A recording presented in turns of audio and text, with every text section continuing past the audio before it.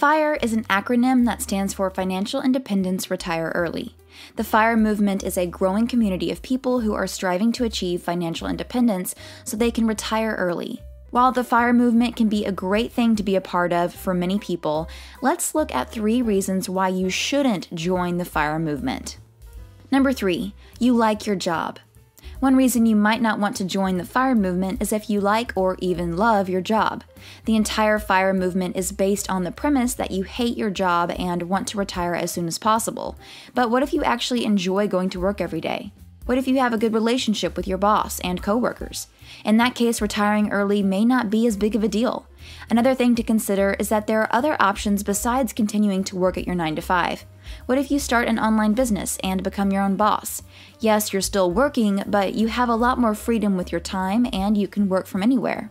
Then, retiring early may not be as big of a deal anymore.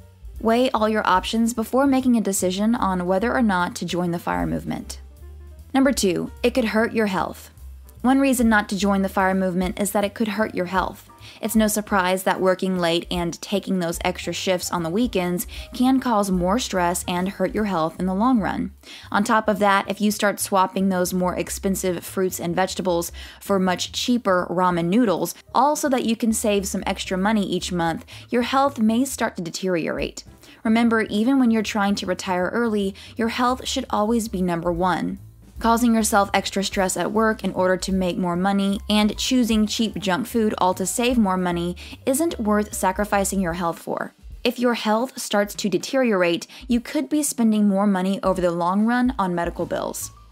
Before I move on to number one, make sure you subscribe and click the bell. That way, you'll be the first to see my next money making video. Number one, quality of life. One of the biggest problems with fire is that it can come at the expense of your quality of life. If you practice extreme saving and live like a pauper for many years, then yes, you'll definitely have more money than someone who ate at nice restaurants, lives in a bigger house, and takes more vacations. However, who was happier during those years? The person who saved like crazy and never did anything, or the person who enjoyed some of their money? If you're constantly living like you're poor, depriving yourself of basic comforts and luxuries in order to save every last penny, then you may not be very happy during those years. That's not to say that you should never save money or not be frugal, but if extreme saving comes at the cost of your happiness, then it's probably not worth it. It's important to find a balance that works for you so that you can enjoy your life even as you work towards financial independence.